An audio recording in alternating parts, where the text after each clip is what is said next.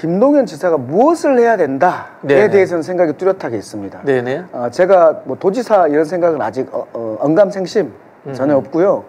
어, 제가 김동연 지사에 대해서 말하고 싶은 것은 지금 김동연 지사가 아, 보이지가 않는다.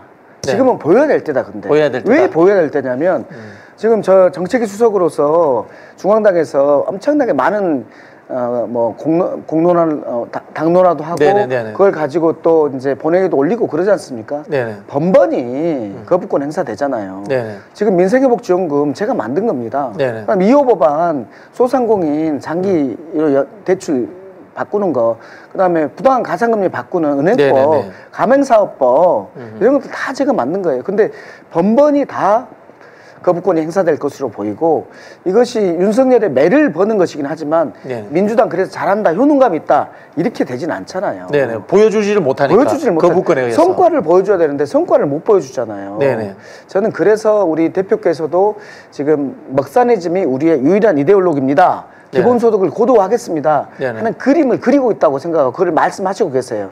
근데 그림으로 설득이 되나요? 아니면 구체적인 사례로 설득이 되나요? 사례가 훨씬 보기 그렇겠죠. 좋죠. 네, 네. 그래서 구체적인 사례를 만들 수 있는 것 중앙당에서는 안 되더라. 네네. 그럼 어디서 하냐?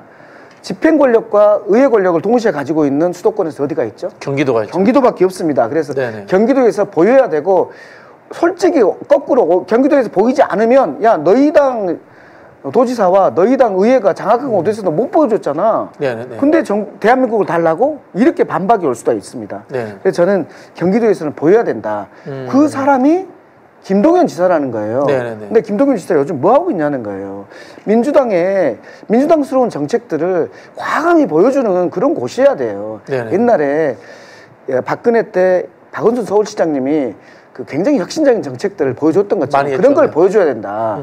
그 이후에 이제 우리가 탄핵으로 이겼지만 우리 문재인 대통령 민주당이 집권하는데 음, 보여줬던 박원순 네네. 시장이 보여줬던 혁신적인 정책들이 있었던 거예요. 그 역할을 저는 김동연 씨가 좀 해달라. 네네. 이것이 김동연 지사한테 또 좋은 일이다. 네네네. 이런 거예요.